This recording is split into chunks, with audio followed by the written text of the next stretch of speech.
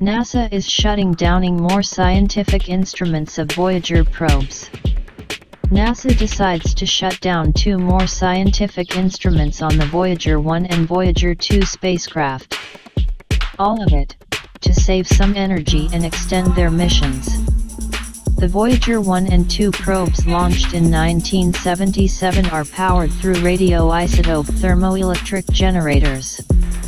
They convert heat from the decay the plutonium as plutonium for electricity. However, this energy source begins its exhausting. To extend the mission of the cult probes and let them continue collect data, engineers at NASA's Jet Propulsion Laboratory, JPL, February 25 disconnected on Voyager 1 cosmic ray subsystem radiation detector it's a space. Additionally, it is planned to shut down Voyager 2 detector on the Voyager 2 low energy charged particles, or low energy charged particle the subsystem. This is due on March 24. After that, there will be three on each of the probe's working scientific instruments.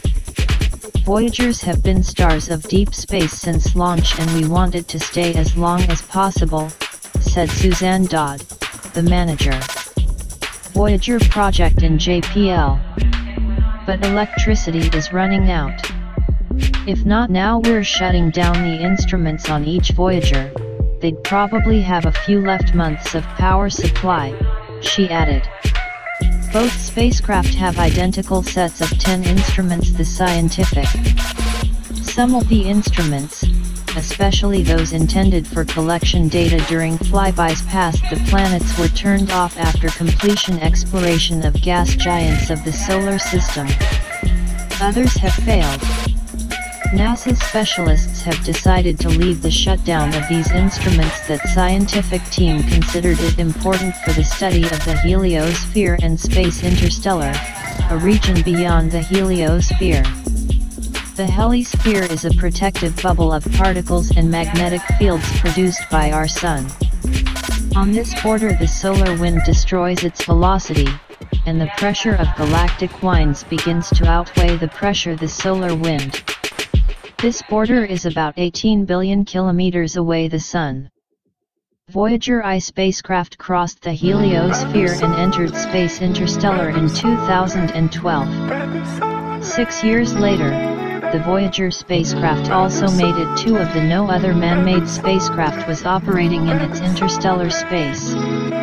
Off on Voyager 1 last week Cosmic Ray Subsystem is a set of three detectors designed to test rays space accelerating processes of particles, electrons from Jupiter and the composition of particles in planetary magnetospheres.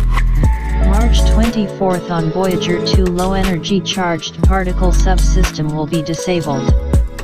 These are two detectors located on a rotary platform for the study of cosmic rays, energy particles of solar and planetary origin. The rotary the platform provided detectors with a 360-degree field of view.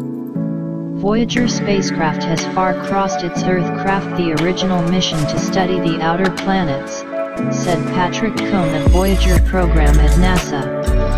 Every additional bit of data we have collected from this time, is not only a valuable scientific bonus for heliophysics, but also a testament to the exemplary engineering that was implemented on the Voyagers, he added. On Voyager 1, a magnetometer and a wave receiver still operate plasma wave subsystem. Low energy charged particle subsystem, i.e. low energy charged particle detector, which will soon be off on Voyager 2. It will run until the end of 2025 but will be left turned off in 2026. Voyager 2, Plasma will operate on Voyager 2 after March 24th Wave Subsystem and Magnetometer. Cosmic Ray Subsystem, or Space Radiation Detector that was disabled on Voyager 1, is expected to operate until 2026. The scientific data collected by Voyager probes are unique. That's why NASA specialists are fighting for every additional day of their mission. After the shutting on these two instruments, Voyagers should have enough power to work for about a year before the next instrument is he had to be turned off. Engineers indicate that with at least one A functioning probe instrument should be up to 2030, but they say also, that probes travel through an unknown environment and an unforeseen event can to shorten that time. Voyagers explore a region where no one has arrived a spacecraft. Linda Spilker of the Voyager project in JPL, admitted. It means that every day can be our last. But this day it can also bring another interstellar revelation. That's why we do everything we can to ensure that Voyagers 1 and 2 continue her pioneering activities as long as possible, she emphasized. Voyager 1 and Voyager 2 remain the most distant objects created by man. Voyager 1 is now more than 25 billions of kilometers. Voyager 2 is about 21 billion kilometers away the Earth.